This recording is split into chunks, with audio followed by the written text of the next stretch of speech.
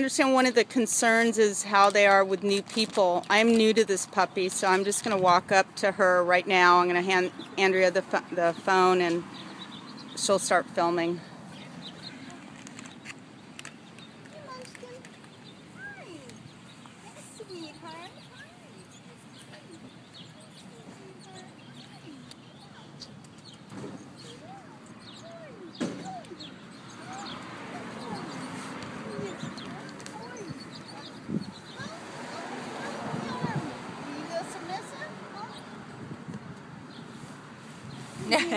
that face.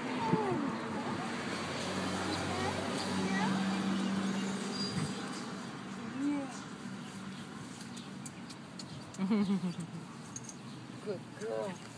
All right, so I'm I was new to her and she was very scared of me when I went up to her cage, but this is her out of the cage. She's somebody she doesn't know. The minute she gets out, I wouldn't even call that aggression. Huh? I wouldn't even call that aggression. Yeah. You know, she's. Yes. Yeah. Well, yeah. Fearful.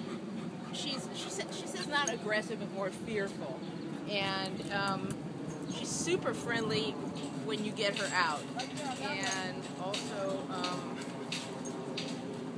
you know, we had her out around another dog. She's gone up to other dogs in cages.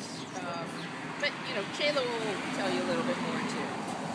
And she looks like a puppy puppy too.